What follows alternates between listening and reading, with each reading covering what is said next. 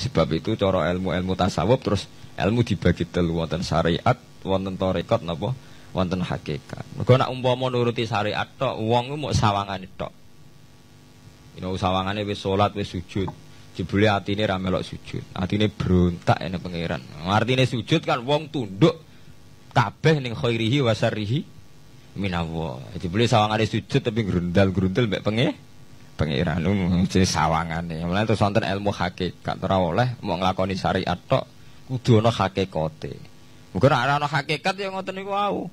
Mau barang mau amen sawangane tok. Sawangane sedekah jebule bar gaya mbek unda-tunda. Lah tapi sampean nak nganggo ilmu hakikat kan ngerti, manusia mau koyo dakon. Jadi sampean sedekah carane ikhlas itu gampang. Nemen gampang. Cara sampean nganggo ilmu hakikat ikhlas itu sesuatu yang sangat mudah. Malah kowe ora ikhlas itu sing janggal. Lho nggih kula sering ditangkriti, Gus ikhlas kok angel. Lho cara aku malah gampang ikhlas timbang ra ikhlas gampang ikhlas. Kowe anggere ikhlas angel berarti ilmu untuk syariat tok. Nah ilmu mesti hakikat, mesti ikhlas. Bukan mungkin ra ikhlas, mesti ikhlas. Misalnya ngeten nggih. Kula niku gadah dhuwit 10.000. Ya, cek duit, cek ilmu, cek derajat. Gak ada duit sepuluh ribu. Sampai kalau pa menurut pandangan syariat, karena duit itu hasil dagangan jenengan, ya jenengan. Oleh tiang disekakno jenengan, wae jenengan. Gara-gara sampean ngerasa wae em lho, nak dikekno wong ya bot. Nak sampean sodako yang ngerasa iso ngundat ngun mundat. Lah awalnya sampean melihat itu secara ilmu hakikat, duit iki wae Allah. Wae Allah ya wae Allah, ora titipan. Dikekno wong ya ya ya wae Allah dolanan mau ning nggonku, saiki ning nggone nih kan selesai kan. Mulane jari hikam, kula nus tak kenang jan hikam. Cara hikam wong ra ikhlas bintu-bintune wong. Enggak cara hikam logikane gampang. Jadi hikam motivasi ikhlas nu nganggo ilmu hakikat gampang. Ngeten redaksine. Kaifatat lubul ajro mimman huwa muhtihi ilaika. Utekem lho betah kok endi? Kok njaluk opah mbek wong sing ngeki hadiah ku piye?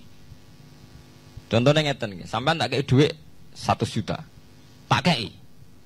Sampean tak kon dagang. Bareng tak kon dagang sukses badi.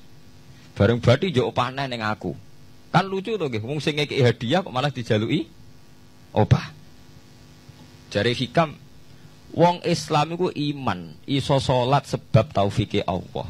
Iso haji sebab taufike Allah. Kita iso ibadah sebab taufike Allah. Bareng bar awang ngeke taufik kok dijaluki opah. Lho wak nuntut nuntut opah ambek wong sing ngekeki. Lho iku lucu atau ora lucu? Masuk akal tak masuk akal?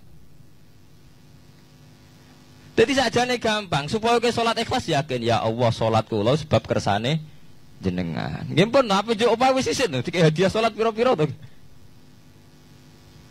Sing mari ke nuntut mergo GR ujub. Aku bisa sholat. Nah, bisa sholat berat suwargo lucu. Berarti bolak-balik. Kenapa kita ikhlas susah? Mereka awalnya ilmu mbok mbok kawal ilmu syariat. Nak cara ke awalnya cara melihat ilmu hakikat. Ikhlas itu gampang. Nggih mboten.